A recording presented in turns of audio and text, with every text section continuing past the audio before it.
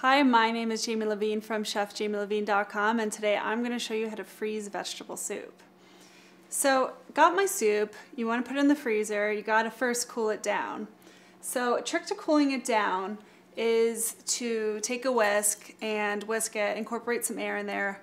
Another thing I like to do is put in an ice water bath, get it down. You're going to want it to 40 degrees before you put it in the freezer.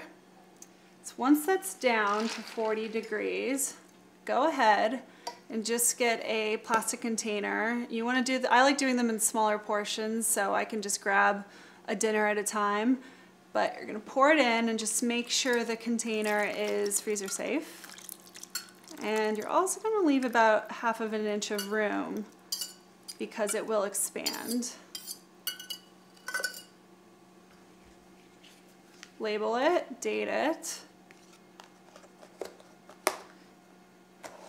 That's your vegetable soup. It is ready to go into the freezer.